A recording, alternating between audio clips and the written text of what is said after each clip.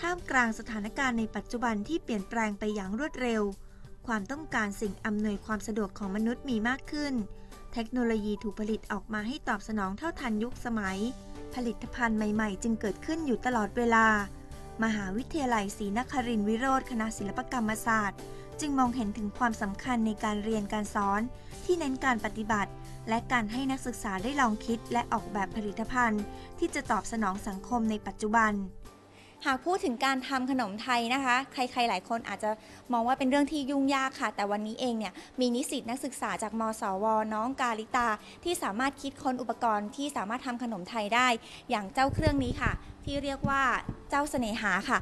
ชุดอุปกรณ์ประกอบการทำขนมหวานไทยในครัวเรือน ชุดนี้เป็นหนึ่งผลิตภัณฑ์ในการทำขนมไทย ที่นางสาวการิตาแห่งสกุลวัด นักศึกษาชั้นปีที่ 4 คณะศิลปศาสตร์ มหาวิทยาลัยศรีนครินทรวิโรธเธอได้แรงบันดาลใจมาจากการชอบกินขนม จึงลองคิดอะไรที่ตอบสนองความต้องการให้กับตัวเอง จึงลองออกแบบอุปกรณ์ทำขนมหวานไทยชุดนี้ออกมาอุปกรณ์ทำขนมไทยค่ะ เวลาเราอยากทำเนี้ยเราคือเราก็ต้องหาเยอะค่ะ แบบมันไม่ได้มีขายทั่วไป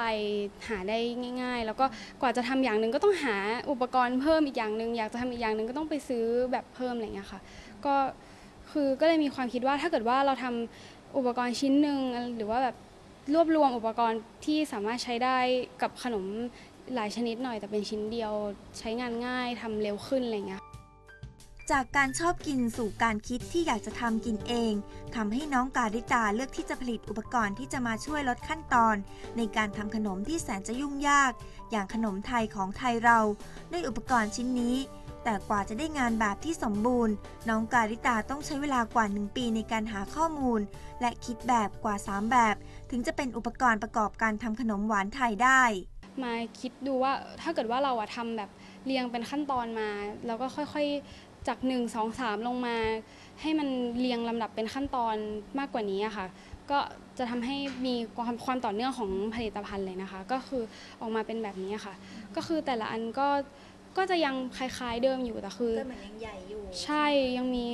ยังมีความที่แบบดูไม่เป็นเครื่องครัวอะไรเงี้ยค่ะ แล้วก็แยกชิ้นยังใหญ่มีขนาดที่แบบไม่สะดวกต่อการใช้งานเนี่ยค่ะ คือในเบื้องต้นเนี่ยก็จะพยายามให้เด็กคิด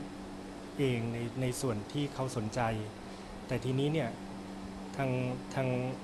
หัวข้อจะผ่านไม่ผ่านขึ้นอยู่กับเกณฑ์การประเมินของอาจารย์ก็มีอีกเกณฑ์หนึ่งก็คือ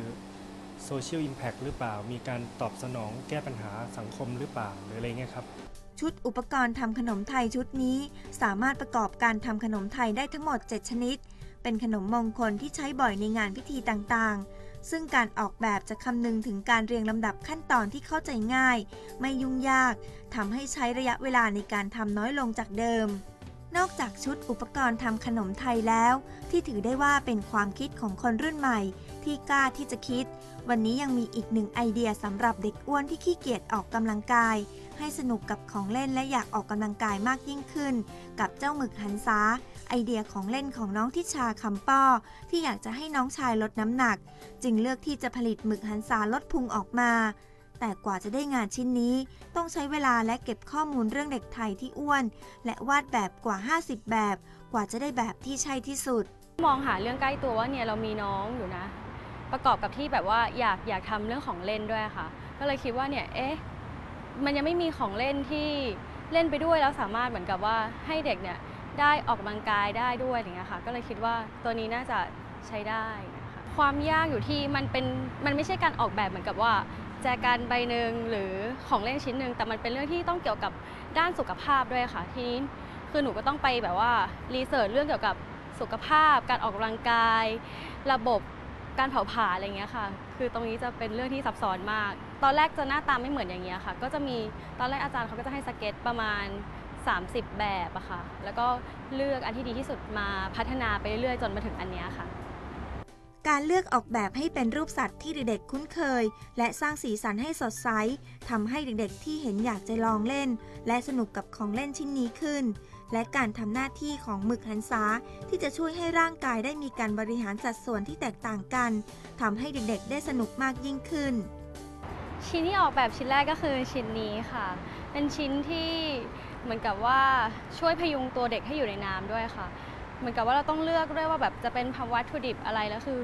ข้างในมันเป็นโฟมอะค่ะเพื่อช่วยเหมือนกับว่าให้ลอยน้ำได้ อันนี้เป็นส่วนตัวหลักเลยที่ต้องลอยน้ำได้ใช่ไหมคะแล้วก็ชิ้นต่อไปก็จะเป็นชิ้นนี้ค่ะ คือชิ้นนี้มันจะสวมเข้าไปในตัวนี้ค่ะ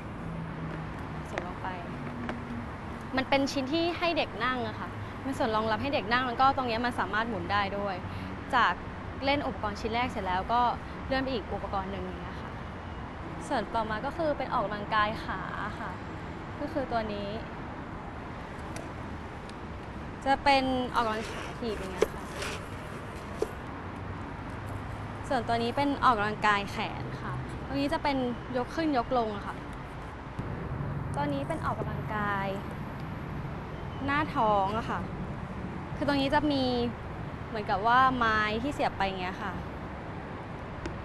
เสียบไปอย่างงี้ใช่ไหมคะ แล้วก็ เราก็จะหมุนอย่างเงี้ยค่ะ